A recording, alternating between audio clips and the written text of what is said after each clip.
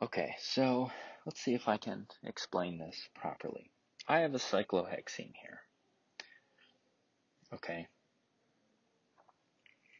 And it has a stereocenter, and that stereocenter is right here, is this carbon, because it's attached to a garden variety methyl, a hydrogen, that's two positions already. If we keep following, we have, well, yeah, hold on.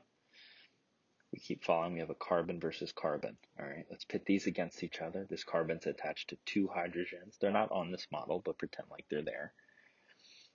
And this carbon is attached to um, two other carbons. So this one's a little heavier.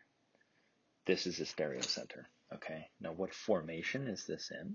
Well, let's put our hydrogen out of the plane, away from me. And I'm looking at the stereocenter. That's going to be 4. The methyl is attached to three hydrogens. That is going to be 3.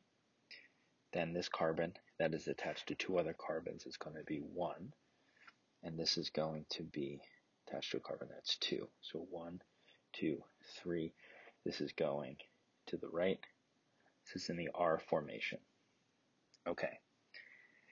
What we're mixing this with is water in the presence of an acid. Hydronium, H2SO4, doesn't matter. What we're getting from that acid is a proton, is a, is a hydrogen, okay? So, we're mixing this, this, and this. We need this to get started. This is from our acid. This is what's going to break this bond. So let's break this double bond. Before we do that, where do we think the hydrogen's going to go? Rich get richer. This is attached to one hydrogen. This is not attached to any. This is going to get the hydrogen. Let's break the double bond. It's very satisfying. All right. Double bond is broken. I'm going to replace it with a single bond. Okay. All right, so this intermediate carbocation, we have a partial positive charge here, partial, partial positive charge here, because there's nothing coming out. Here's our hydrogen. Boom. Okay. Now, just for the sake of completeness, all right, so this one's all full, this one's good to go. It had one hydrogen, now it has a second. Okay. Here's our oxygen. Now, what happens is eventually through this reaction, I think both hydrogens technically come with it.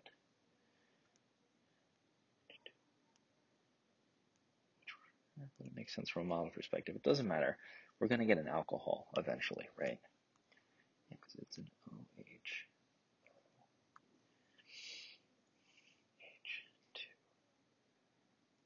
Plus charge. Doesn't make any sense though. That is oxygen. Oh well. This is what we end up with. Okay, we have um, our OH group. What we've formed now, but we have a decision. This is where it gets confusing because from a model perspective, there's only one place that I can put this oxygen, and it's here. But there's going to be an option here, okay? Because it can switch places with this methyl group. It can also be placed here. Where does it want to go?